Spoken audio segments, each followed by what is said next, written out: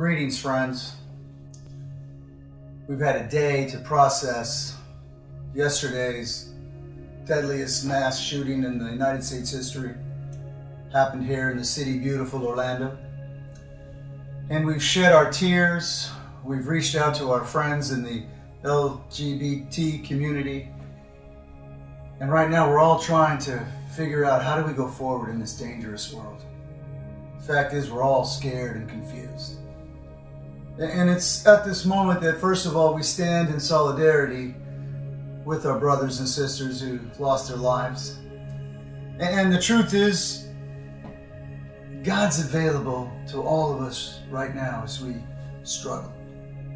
God loves us. Um, he loves us as we are, not as we should be, because really none of us are as we should be. And so I want to encourage everybody to, to reach out and embrace the love that God has made available to us.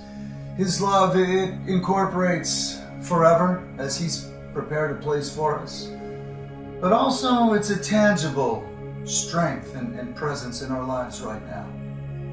He's available to help us sort this out, encourage us, and give us hope for tomorrow.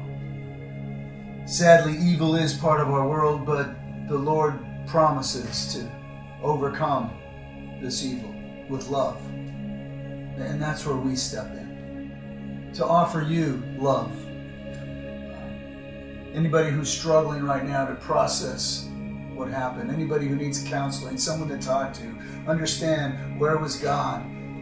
Our, our church would like to make ourselves available to you. Uh, give us a call, make an appointment. Let us help you walk through this, uh, this crazy tragedy. In fact, our church is going to unite with all the churches in Celebration, Florida.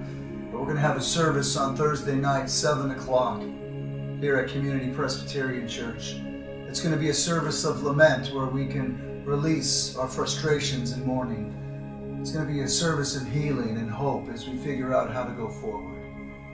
Again, the anchor is going to be a God of love who promises not only a future hope, but a present help in times of trouble. Come, everyone's welcome.